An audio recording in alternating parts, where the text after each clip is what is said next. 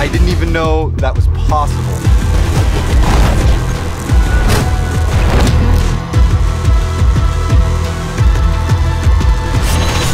Rated M for mature.